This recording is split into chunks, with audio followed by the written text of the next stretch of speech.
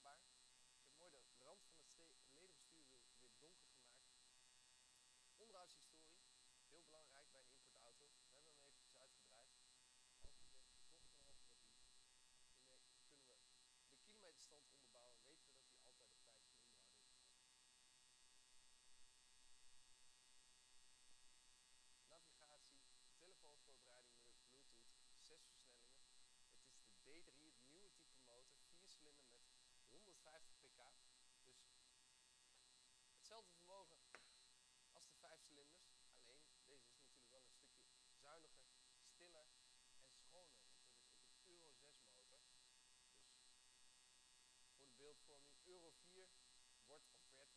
geweerd.